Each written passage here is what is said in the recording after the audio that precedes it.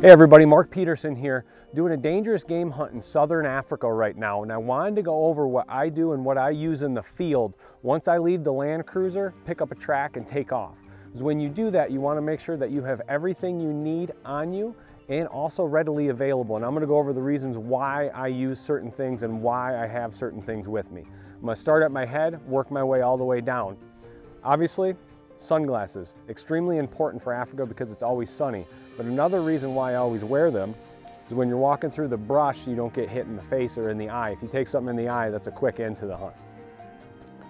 I also have a neck gaiter.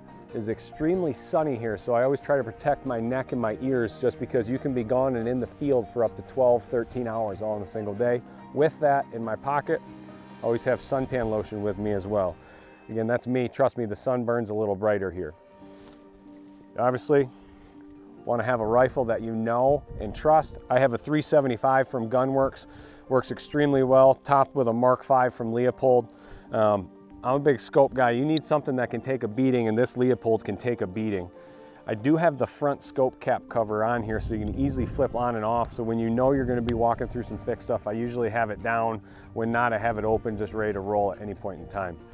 Now with my 375, what I do here, normally if you're hunting Cape Buffalo or something like that, you want your first shot to be a soft.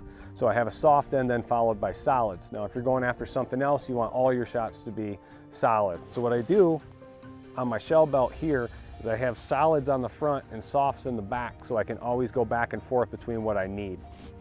As I work my way down, again, you need good binos. I've got the Leupolds here, they're strong and dependable. As you can tell, these are beat up because I've been wearing them for a couple weeks straight down here.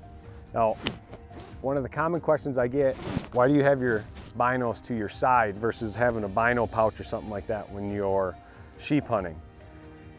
The reason's pretty simple. You wanna have as much free space and be able to move as quickly in front because things can happen quickly here. So say you're stalking in on a herd of Cape Buffalo and something changes and they turn and come at you, and you gotta get everything you need right in front. It's extremely tough to be dealing with that bino pouch. So that's why I always wear them off to the side. They're always when I need them, but they're out of the way when I don't need them. Again, shell pouch went over. I, my personal is I use the solids up front, softs in the back. Again, I always got a multi-tool because you don't know when you need it, but you always got it. In my pocket, I also carry my sport ears. So when I'm moving in on a stock, I've got these in. When, I'm, when not, I've got them right in my pocket, ready to roll.